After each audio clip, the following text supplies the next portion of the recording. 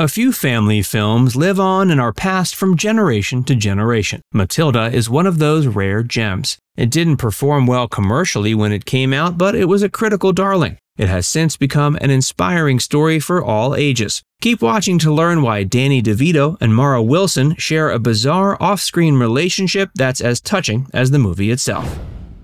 Mara Wilson, the child star.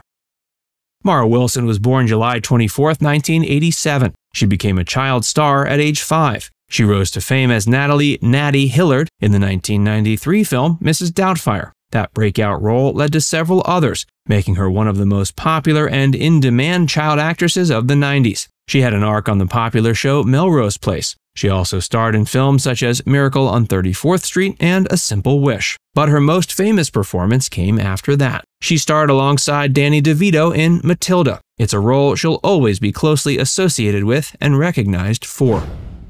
Making Matilda.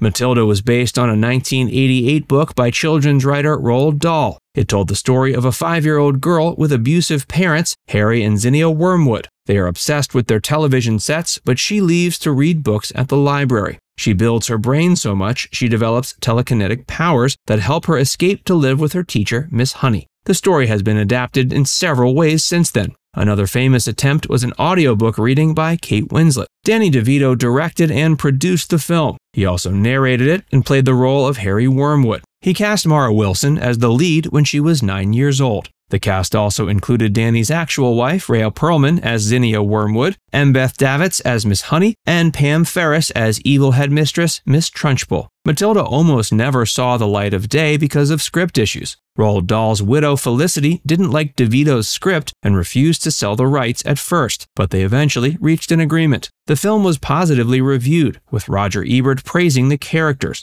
It only grossed $35.5 million, making it a box office flop, but it's grown in popularity since then and is a cult hit that has a 90% rating on Rotten Tomatoes. Mara says she and the rest of the cast always hoped it would be a hit, but never imagined how popular it would become. It was one of only a few movies where intelligence and resourcefulness are rewarded and little girls get to show off their inner strength. There's never been a sequel to Matilda, but Danny said he'd love to create one. He wants Mara to reprise her role, but have the story focus on her daughter.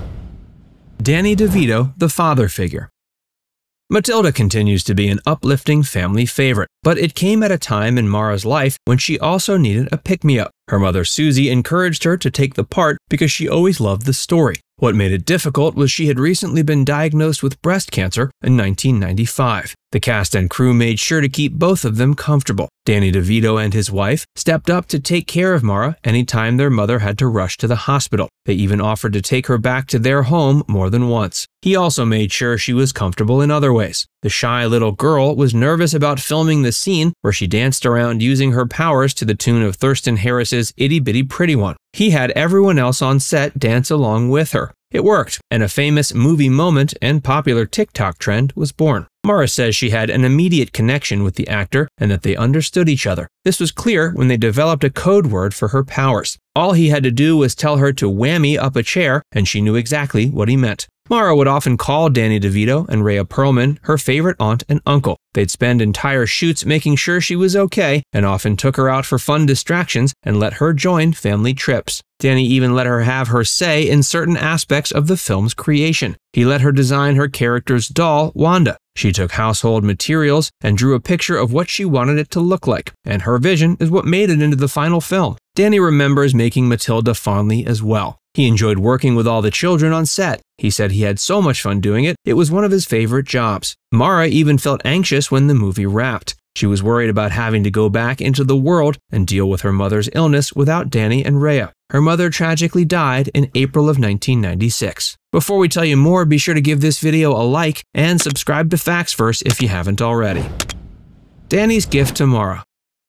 Matilda came out a few months before Mara's mother died. She was sure she'd never get to see the film they were both so attached to. Danny eventually revealed that he had shown Mara's mother an early cut of the film in the hospital. She was able to see it in a nearly finished state before her tragic passing. He even dedicated the final film to her memory. Mara didn't realize this for years because he never told her about it. She later expressed her feeling about the gift in her memoir, which is also dedicated to her mother. She wrote that she's always happy to see it in the credits now and was so happy it had been added. A sweet reunion. A sequel to Matilda may never come, but that doesn't mean the cast never gets together. They remain friends and remember their time filming the iconic cult hit. Danny says that on the 20th anniversary of Matilda in 2016, he created a Blu ray remaster of the classic film. He included footage of the cast reuniting for a garden party in the middle of the new version. It made the Blu ray stand apart from other versions and honored the fact that the cast had, in a way, grown up together.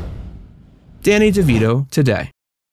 Danny DeVito may have shown off his soft side when creating Matilda, but he's been playing villains since he took on the role of the Penguin in the 1992 film Batman Returns. Danny's currently 76 years old and has been in several other movies since Matilda, including Man on the Moon, Erin Brockovich, Big Fish, and Jumanji. He's also been on the TV show It's Always Sunny in Philadelphia for nearly 10 years and 17 seasons. His relationship with Rhea hasn't fared so well. They had three children Lucy, Grace, and Jacob. They were married in 1982, separated in 2012, got together again in 2013, and officially split in 2017. The good news is they're still friends today. Mara Wilson today.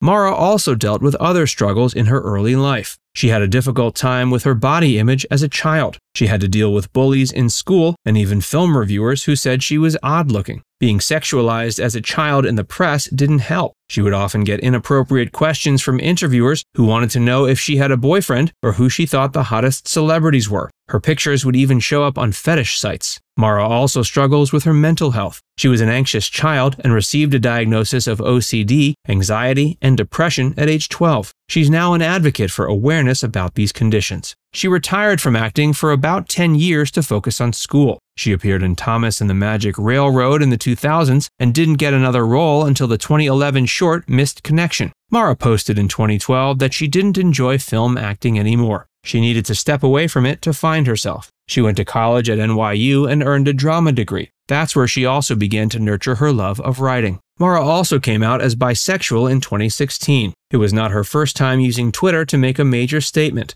She has 600,000 followers there and 100,000 more on Instagram. Social media is the primary way she interacts with fans. In 2016, she wrote a memoir called Where Am I Now? True Stories of Girlhood and Accidental Fame. She narrated the audiobook version and it won a Shorty Award and a nomination for Goodreads Humor Book of the Year. She's also an associate editor at The Atlantic. Mara is now reviving her acting career, but only when she enjoys the projects, saying it's more of a hobby now. Her roles since 2011 include portraying herself on The Nostalgia Chick and Our Popcorn Movie Dystopia, and voice roles in Bojack Horseman and Big Hero 6, the series. Now it's time to hear from you. What's your favorite memory of the movie Matilda? Let us know in the comments section below. And before you go, make sure you give this video a like and subscribe to Facts Verse if you haven't already. Click the bell icon to stay updated on all our latest content.